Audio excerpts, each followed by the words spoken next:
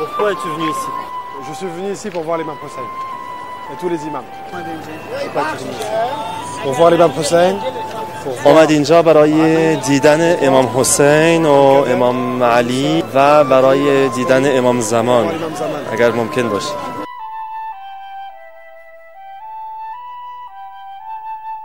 عشق عشق این مکان از این یعنی قوی میشه قوی تر میشه Un homme آمد اینجا. چون امام خمینی تو زمانش عشق امامان و عشق دین.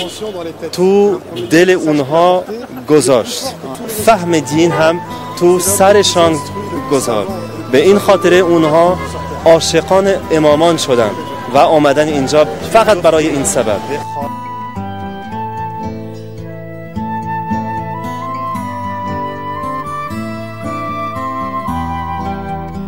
ازش بپرسم حسین کی چی میگه؟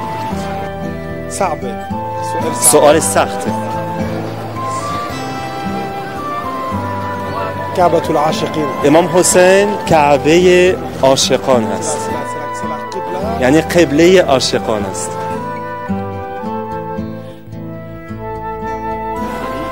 یعنی زیباترین و جالبترین چیزی که ایشون دید این است که یعنی مردم از همه جهان آمدن اینجا برای نشان دادن به یعنی عشق اونها به امام یعنی علاقه اونها با امام.